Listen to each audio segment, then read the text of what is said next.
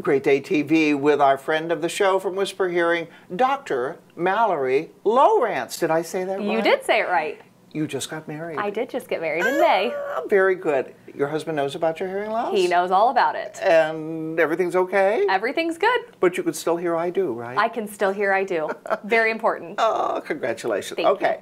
We're here to say congratulations. We're also here to ask you about my hearing aids. Now, saw you a few months ago, it's close to six months ago, and one of them just kind of went out. Yep. Uh, I'm having some difficulty again. How often should you get your hearing aids cleaned?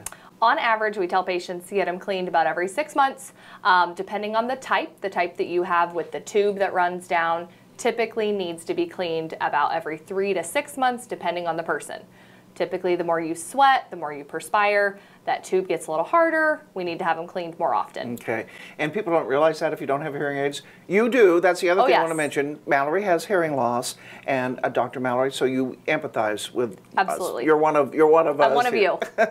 um, in the summer, when you sweat, and people don't, your ears sweat. Oh yeah, your ears Because you're blocking it off, right? Yep.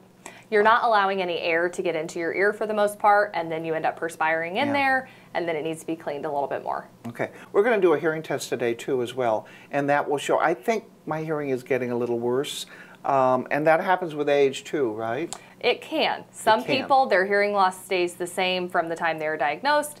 However, most people do have some degree of progression over time. Okay. Uh, so we need to get them cleaned every six months. How often should you get your hearing tested? Once a month, or once a month, once a year. Once a year. Once a year, you should get your hearing tested. Okay. I get this all the time. Someone says, I'm going to buy a hearing aid. I saw it listed on a TV ad and or I saw it in a magazine and that doesn't work. You're throwing your money away. Absolutely. You definitely need to find a professional. You need somebody to make sure that you know all of your options. Hearing aids are not a one size fits all. Everything is very specialized to each individual person, and seeing a professional assures that you're going to get the best care possible. Okay. Dr. Mallory also gave me a hearing test. Unfortunately, my hearing is deteriorating even further.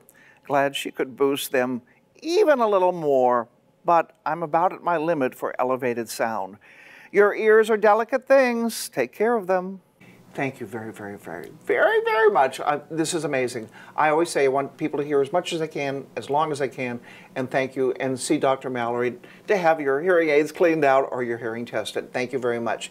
We'll be back with more on Great Day TV.